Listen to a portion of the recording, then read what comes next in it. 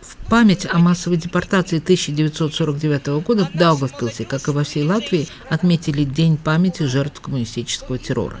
43 тысячи человек были вывезены в вагонах для скота в Сибирь. Безымянные могилы разбросаны на всем этом долгом пути. Свечи и цветы родные и близкие приносят сюда, к мемориальному камню. Мероприятие началось с шествия от костела Святого Петра в Веригах до сквера Андрея Пумпура.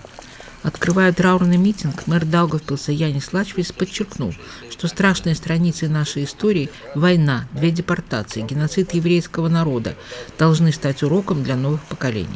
Люди, которые были вывезены из своих домов, увезены на чужбину в Сибирь, зачастую в нечеловеческие условия, сохранили и веру в себя, и веру в людей, не озлоблены на других. И они являются э, примером, как надо верить э, жизни. Пронзительные рассказы о пережитом Лидии Дульбинской, Елены Корженевской, Геновефе Кечине и других воссоздавали события тех роковых дней, когда за один день были изгнаны со своей земли десятки тысяч человек. У нас тогда была сестричка, три годика, Царство Небесное уже четыре года, как ее нету, а второй сестричке было 11 дней.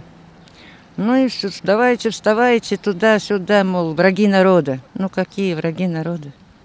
Этот 11-дневная этот, девочка, эта бедненькая, это уже враг народа. Каждое воскресенье там Богу молились, все, и подводят, как оно, и говорит, детка, смотрите, вот там Латвия, там наша Латвия.